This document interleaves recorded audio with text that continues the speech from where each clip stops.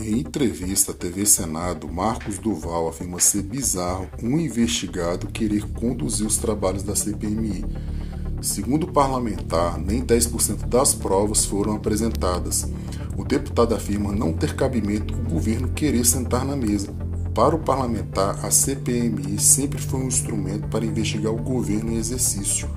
Vale ressaltar que a CPMI da Covid governo Bolsonaro respeitou as tradições na condução da CPMI e não tentou presidi-la.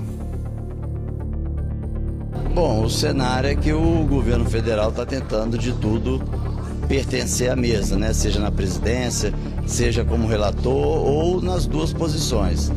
Mas é algo, assim, é, é, desculpa até usar a expressão, bizarro porque seria o equivalente, vamos imaginar que eu sou um delegado de polícia, chefiando uma polícia que trabalha, um, um departamento de polícia que trabalha contra as drogas.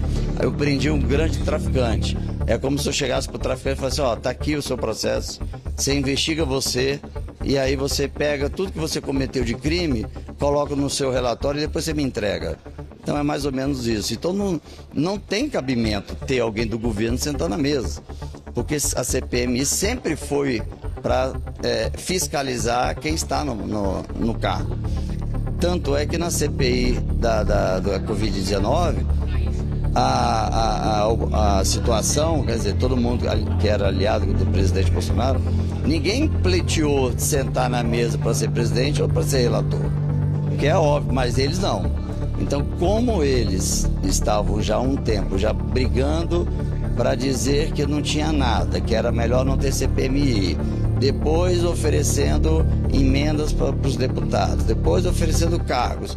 Isso já foi dando sinal de que realmente eles estavam preocupados. Eu já tenho todas as informações, então assim, para mim não há nada de novo quando vazou o vídeo, tem muito mais coisa. Mas assim, o que foi mostrado hoje que a sociedade ainda ficou chocada é 10% do que está para vir. Então essa questão dele, essa movimentação de estarem na mesa é algo assim bizarro, é uma coisa que não faz nenhum cabimento isso. Muito obrigado, senador. Nada, à disposição.